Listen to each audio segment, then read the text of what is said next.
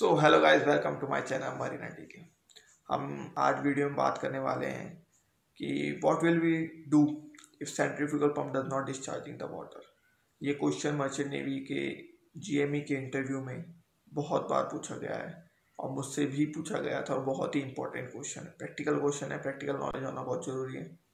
सो so, बहुत ही बढ़िया question है। सो so, मैं आपको बताऊँगा कि इसका आपको आंसर कैसे डिलीवर करना है और वाटर कैसे डिलीवर करवाना है। सो इफ़ इंटरव्यू पूछता है आपको कि what will you do if centrifugal pump does not discharging the water so इसके पाँच छः कॉजेज हो सकते हैं। कॉजेज बहुत ज़्यादा हैं, लेकिन जो मेनली आपको बताने हैं या फिर मेनली जो कॉजेज हैं वो यही हैं कि सबसे पहले जो कॉज आता है वो है लैक ऑफ़ प्राइमिंग प्राइमिंग हमने पढ़ा है बहुत अच्छी तरह।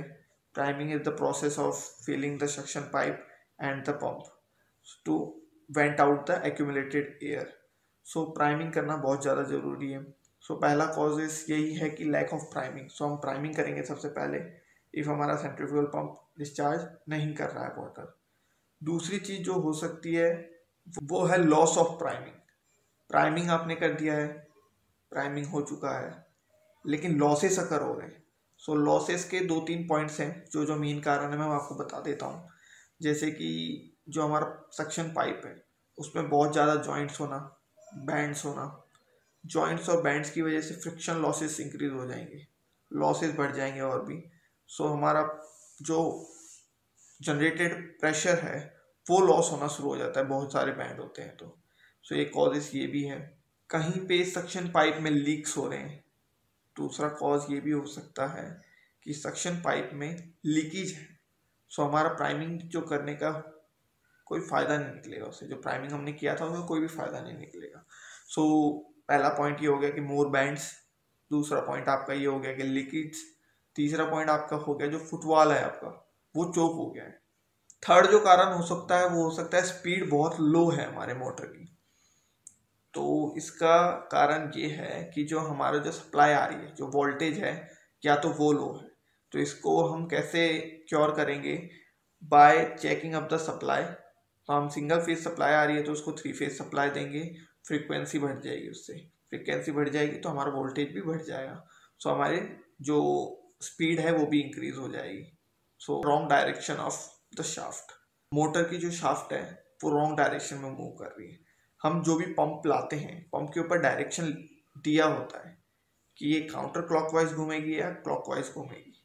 तो उसी हिसाब से हमको शाफ्ट को भी घुमाना पड़ता है। इफ़ हमारा इम्पाइलर जो पंप है और शाफ्ट है, दोनों एक दूसरे के अपोजिट डायरेक्शन में रोटेट कर रहे हैं तो जो हमारा पंप है, वो डैमेज हो जाएगा इससे। डैमेज इसलिए हो जाएगा क्योंकि दोनों अलग रोटेशन में घूम रहे हैं। क्योंकि जो पंप डिज़ाइन किया गया है, वो या तो क्लॉकवाइज डायरेक्शन के हिसाब से किया गया है, वो काउंटर क्लॉकवाइज के हिसाब से किया गया है।